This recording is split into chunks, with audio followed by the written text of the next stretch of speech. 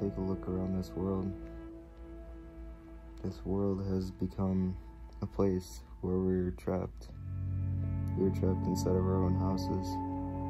We're trapped inside of our own lives, trying to survive due to the deadly virus of the COVID-19. COVID-19 has killed many, many people. Many people also, have also been affected by this horrible, horrible they, it's just unbearable.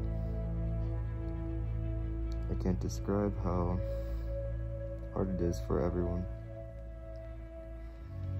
I mean, kids are being homeschooled. Parents are forced to work at home. The homeless, they're in a place where they can't go home. They can't stay home. They gotta fight for their lives. Food, water, hand sanitizer, toilet paper, all of it is becoming scarce. Everybody is scared of the one thing that the COVID-19 is good at, and that's death. As a kid, I can relate. Being a student, working from home now, not going to school every week, seeing friends. It's been tough. We're all fighting through this together.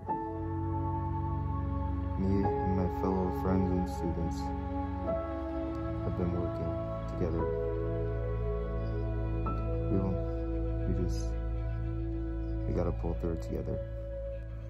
To all the doctors, to all the medical personnel, to all the pilots who are delivering medical supplies, I thank you all so much, putting your lives at risk. People who've been diagnosed with this horrible cancer of COVID. The COVID-19 virus has killed multiple people just back to back. It sucks. It really does. Life is just harder now. Most people want life to go back to normal, and I, I am one of them. I thank you, medical personnel. I thank you so much for trying to treat this horrible virus. It does get cured one day. One day it will. We just don't know when. We just do not know when. One thing I'm thankful for as well is the family I have around me, protecting me, keeping me safe, keeping me at home, having a home for me. If I didn't have a home, just like the homeless people who need to fight. We all need to fight. Everyone deserves a good living, no matter who you are or what you did. Everyone makes mistakes. I thank you, medical personnel, for everything that you do. You deserve more than you get. Thank you to all the first responders that are helping with COVID-19, aka the coronavirus. We all appreciate what you guys do, and we all wish you well. Thank you, coronavirus first responders. I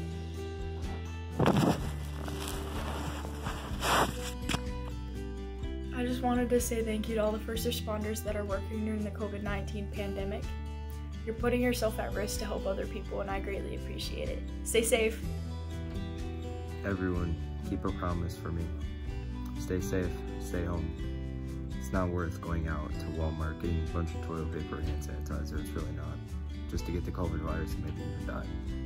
It's not worth it. There's so many people in this world that have lost their lives to this awful thing. Thank you all for watching this maybe emotional video. Thank you to the three people who participated in this video. I will be mentioning them right after this clip. Watch this. Magic. So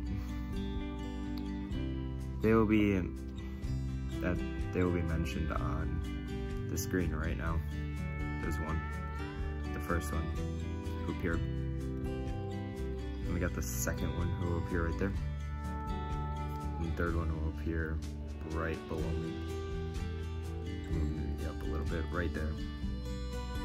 Thank you to the three of them and stay safe everyone. Stay home.